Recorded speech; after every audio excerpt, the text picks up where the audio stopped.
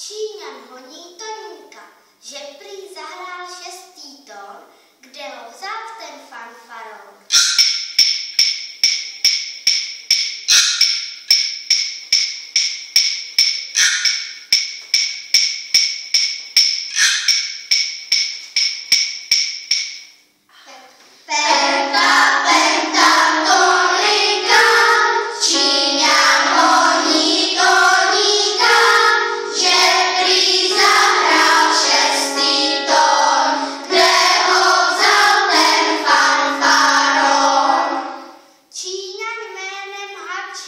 Mači říká, že pět tónů stačí,